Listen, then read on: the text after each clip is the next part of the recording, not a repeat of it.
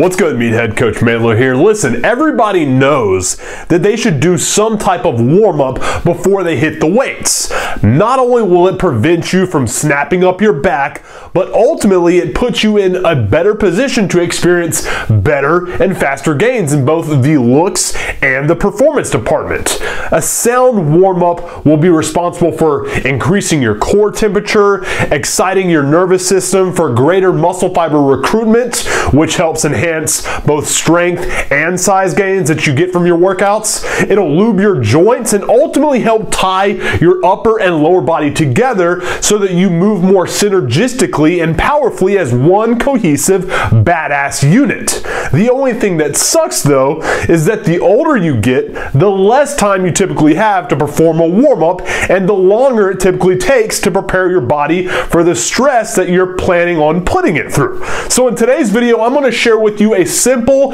kettlebell warm up that you can do, which will only last, really, in all honesty, a few minutes and help prepare your body to absolutely destroy whatever workout that you plan on doing that day, as well as help you see and feel a huge difference in the results you get in both the looks and the performance department. So check out this warm up routine, throw it in for the next time you go and work out, and I assure you, you're going to see and feel a massive improvement in how you look and how you perform with whatever workout that you plan on doing.